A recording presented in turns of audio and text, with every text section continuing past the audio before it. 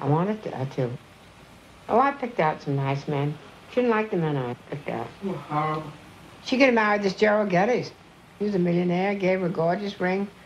She decided not to marry that guy. She had to give the ring back. It went awful. She had a, a proposal of marriage from Paul Getty. Remember Paul? The richest man in the world. He married Teddy Lynch. Then you could have married Jordan McClanahan. He was another millionaire. He wanted to marry you. She just didn't want to get married. That's all blamed on me. No, I never fell in love when I was 31. I don't know. I think it would have been a lot of fun. Yeah, everything's good that you didn't do. At the time, that you didn't want it. I couldn't get away. Well, you, that's the choice. You can't go back and say, feel gorgeous Yeah, right I now and say, I- oh, why didn't I, I do this? leave. Because you didn't feel then the way you do now. Everybody thinks and feels differently as the years go by, don't they?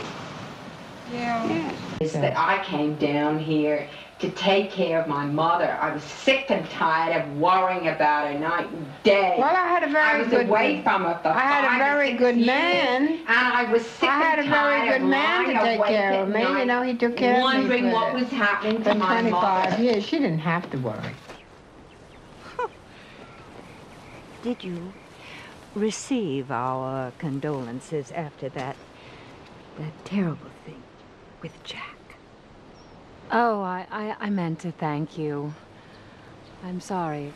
You've had quite a rough go of it, haven't you?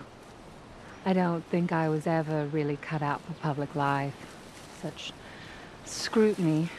No judgments here, Jacqueline. Terribly sorry, Jacqueline. Do you remember Jack's brother, Joe Kennedy Jr.? No, Edie, he died in the war years before I even met Jack. When he died, I cried. I really did. Joe was an extraordinarily beautiful young man.